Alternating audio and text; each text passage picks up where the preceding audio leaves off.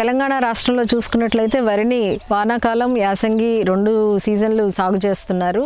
అయితే దీంట్లో ఏంటంటే ముఖ్యంగా ఖరీఫ్లో చూసుకున్నట్లయితే ఒక ప్రధాన సమస్య బ్రౌన్ ప్లాంట్ హాపర్.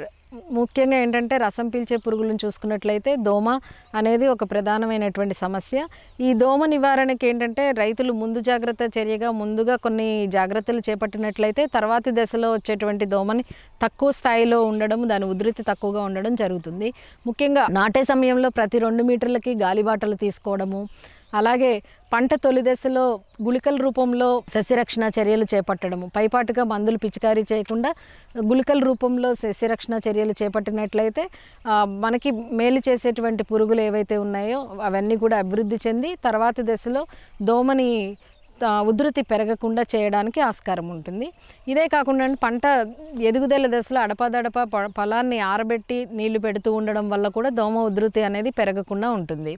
ముఖ్యంగా తర్వాత ఇది ఈ ర- దోమ అనేది రెండు రకాల దోమలు తెల్లవీపు దోమ అలాగే మామూలుగా వచ్చేటువంటి సుడిదోమ ఈ రెండు కూడా ఏంటంటే దుబ్బు మొదట్లో ఉండి రసాన్ని పీల్చడం వల్ల గుంపులు గుంపులుగా ఉండి రసాన్ని పీల్చడం వల్ల దుబ్బంతా కూడా మొత్తం పాలిపోయినట్టు అయ్యి తర్వాత గడ్డి గడ్డిలాగా అయిపోతుంది ఉధృతి ఎక్కువగా ఉన్నప్పుడు. అలాగే ఈ దోమ విసర్జించేటువంటి పదార్థం వల్ల మనకి దోమ ఆశించినటువంటి దుబ్బుల మీద నల్లటి బూజులాగా ఏర్పడుతుంది.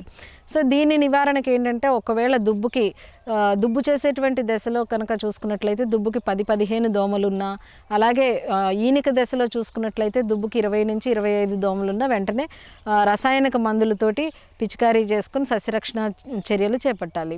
సుడిదోమ నివారణకి మనకి అందుబాటులో ఉన్నటువంటి సస్యరక్షణ రసాయన మందులు చూసుకున్నట్లయితే అసిఫేట్ లీటర్ నీటికి ఒకటిన్నర గ్రామ్ కలుపుకొని లేదంటే బుప్రోఫెజిన్ లీటర్ నీటికి ఒకటి పాయింట్ ఆరు మిల్లీ లీటర్లు లేదంటే డైనోటెఫిరాన్ లీటర్ నీటికి పాయింట్ నాలుగు మిల్లీ లీటర్లు లేదంటే ట్రైఫ్లూమెజోపైరిమ్ లీటర్ నీటికి పాయింట్ నాలుగు ఎనిమిది ఐదు మిల్లీ లీటర్లు చొప్పున కలుపుకొని పైమెట్రిజిన్ అయితే లీటర్ నీటికి పాయింట్ ఆరు మిల్లీలీటర్లు లేదంటే ఇమిడాక్లోప్రిడ్ అలాగే ఎథిప్రోల్ కాంబినేషన్లో ఉన్నటువంటి మందు అయితే కనుక లీటర్ నీటికి పాయింట్ రెండు ఐదు మిల్లీలీటర్లు కలుపుకొని పిచికారీ చేసుకున్నట్లయితే దీనివల్ల కలిగేటువంటి నష్టం తగ్గుతుంది.